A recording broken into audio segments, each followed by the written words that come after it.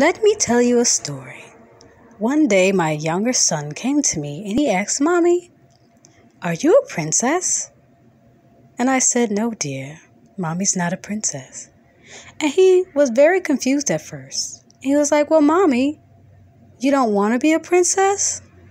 and I told him, It's not that I don't want to be a princess, but that I've always seen myself as the fairy godmother and how much joy it brings me when I create a beautiful garment for a princess.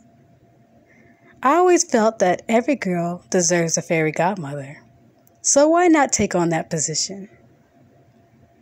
I remember him smiling and walking off. So, next time you book with a custom designer, remember this little story. And remember to thank your fairy godmother or fairy godfather. Just a thought.